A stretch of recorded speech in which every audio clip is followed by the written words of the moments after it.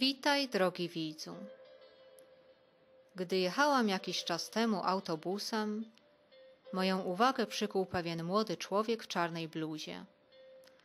Na ramieniu owej bluzy miał bowiem zwracającą uwagę okrągłą naszywkę z napisem kadet.pl Walcz niewidzialny dla wroga.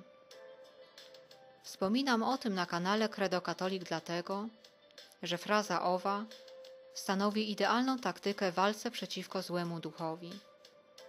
Życie chrześcijanina to nieustanna walka ze złem.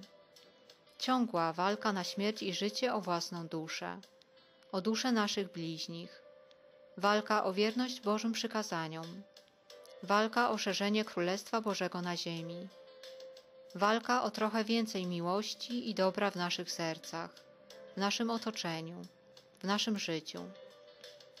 Walka niełatwa, wyrafinowana, zacięta, pełna niezrozumiałych dla nas tajemnic i zwrotów akcji. Walka w przestrzeni widzialnej i niewidzialnej. Walka, w której nie brakuje trudów, cierpienia, ran, ofiar. Z racji tego, że człowiek sam z siebie nie jest w stanie wygrać ani jednej potyczki z mocami ciemności, najlepszą możliwą strategią i jedyną skuteczną strategią w odwiecznej wojnie między dobrem a złem jest całkowite poleganie na Bogu, oddanie się pod komendę Bogu, korzystanie z arsenału oferowanego przez Boga.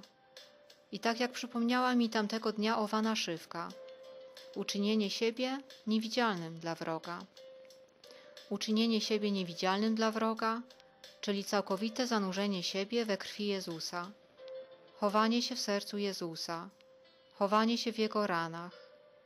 Krew Chrystusa to azyl i życie. Pełna mocy nieskończona miłość Boga. Krew Chrystusa pokonuje każde istniejące we wszechświecie zło. Zanurzaj często siebie i swoich bliskich, drogi widzu, we krwi Chrystusa.